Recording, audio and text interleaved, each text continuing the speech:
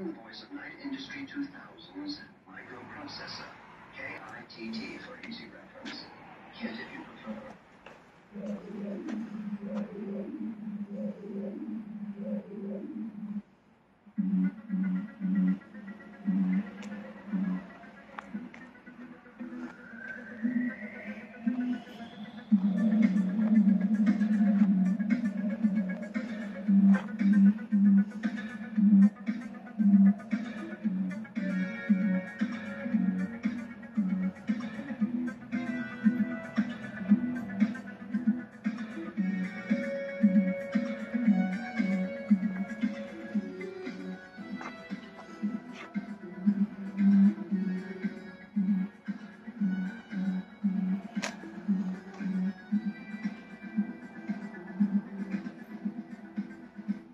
Mm-hmm.